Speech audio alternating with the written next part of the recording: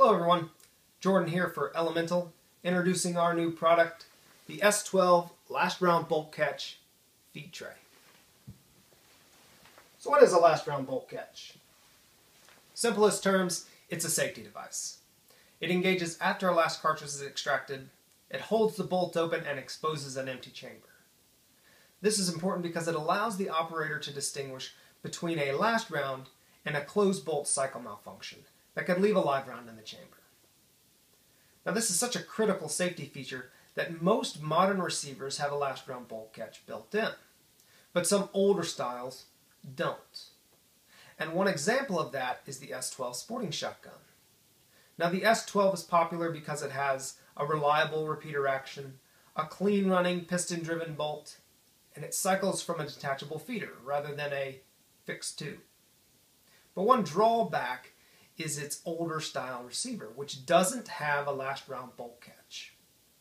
Now there are products on the market to deal with this, but most cost hundreds of dollars, requires machining and permanent alterations to the receiver, and in many cases requires the addition of a specialty feeder that only works with that particular product. So in our approach to develop a last round bolt catch, we wanted to keep the cost down, and we wanted to keep the design simple, but we also wanted to ensure that the product worked, and that it worked well.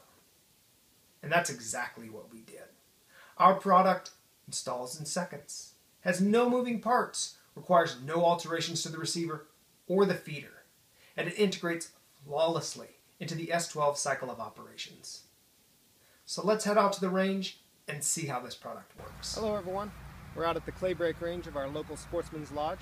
I have an S12 and an unmodified two-shell clay break feeder.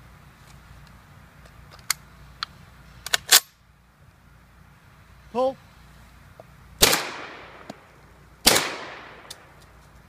So as you can see, the bolt went forward, even though the chamber is empty.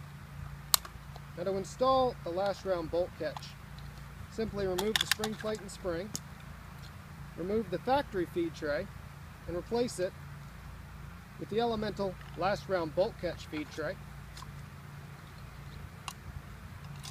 Reassemble by inserting the spring and replacing the spring plate. And you're done. Another great feature about this product, specifically designed not to change the capacity of the feeder with a standard dimension feed tray.